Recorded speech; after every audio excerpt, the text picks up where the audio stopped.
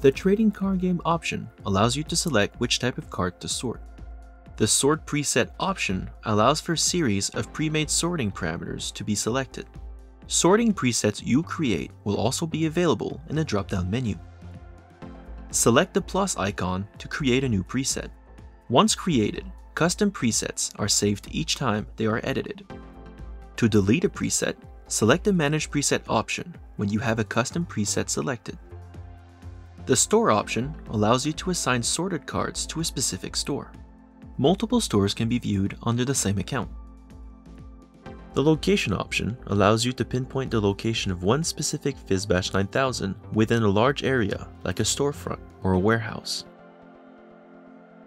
The Missing Price Defaults to option allows you to set the price of cards for which there is no recorded pricing data.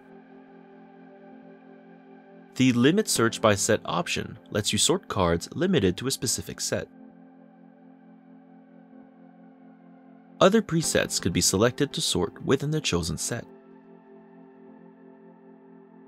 When the foil sorting feature is set to off, it will not actively search for foil cards. Your machine may still choose a foil card if the card detected can only be found in a foil card format. The detect option will run an additional process which actively determines if a card is a foil or not. This additional process will slow the sorting speed to approximately 45 cards per minute.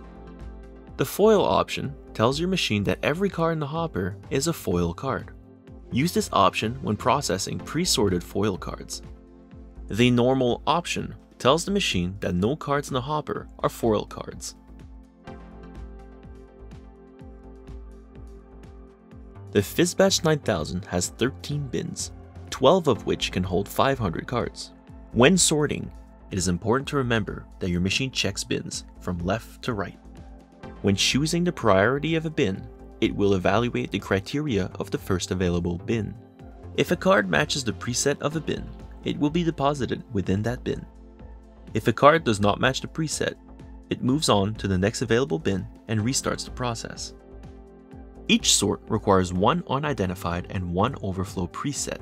You can assign those two presets to whichever bin you choose.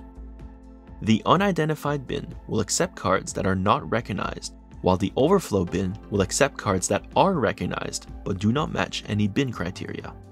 The following sort presets can be found in the search bar. Card name, card type, color, converted mana cost, land type, rarity, set, and value. You can also type whichever preset you want to choose in the search bar. When sorting using values, it is important to remember that your machine checks bins from left to right. When value sorting, we recommend using descending values. Value of cards are selected from TCG Player Marketplace and are applied to cards at the time of sorting. A change in value from TCG Player Marketplace will not be dynamically updated in your library. Bins will fill sequentially into other bins if they have identical criterias. When using the advanced sorting options, bins will also fill into other bins if they share the same criteria, regardless of their order within that bin. Once a bin is full and there are no other identical bins with available capacity, your machine will pause the sort. You will then need to physically remove the cards from that bin and click the empty bin button before you may proceed with sorting.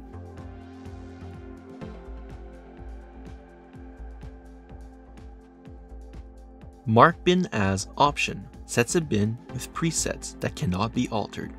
This includes presets such as Discover By, Face Up, Duplicates, Overflow, and Unidentified.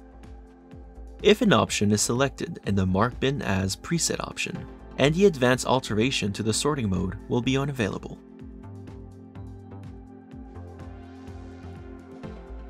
Discover by Name coarse allows the first 11 unique cards to be sorted into each bin. This allows for 121 unique cards to be filtered. Discover by Name assigns each bin to the first card that reaches it. That bin will then only accept cards with that specific name until the end of the sort. Once a coarse sort is complete, Run each stack of cards in each bin through your machine using the Discover by Name preset. This will filter the 11 cards in each stack from the coarse sort down to 1 in each bin, allowing your PhyzBatch 9000 to separate up to 121 unique cards in two sorts. Discover by Set coarse and Discover by Set uses the same logic as Discover by Name coarse and Discover by Name, but assigns bins to a set rather than a name. There are three duplicate settings available. The first is unlimited.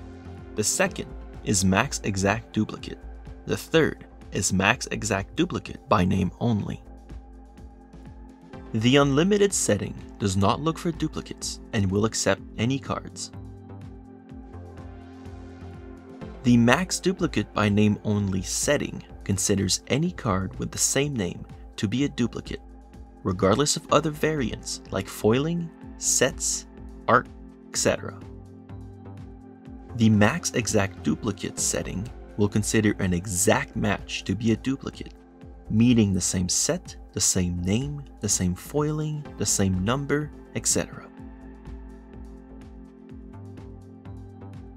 Multiple conditions can be set for the sorting of a bin.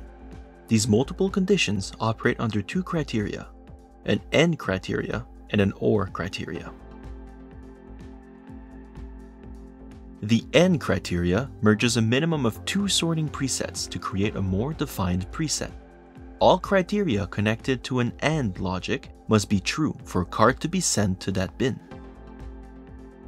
The OR criteria uses two or more presets to create a more defined preset. If a card matches any of the criteria connected by an OR logic, it will be sent to that bin. Clicking the plus symbol creates a new condition group. Each group is separated using an OR logic for easier organization. Bin settings can be cloned and reused. Click on the Update button at the bottom of the bin you have edited. Then click on the Load Bin Setting from Template option on the top left corner. Type in a name for your new preset. In a new bin, click on the Advanced Option button. On the top left corner of the screen, click the Load Bin Setting from Template option and select the previously made preset. Click on the three dots next to the name to save, modify, or delete a bin setting. Select the three dots and click Load. For more information, please contact support at tcgmachines.com.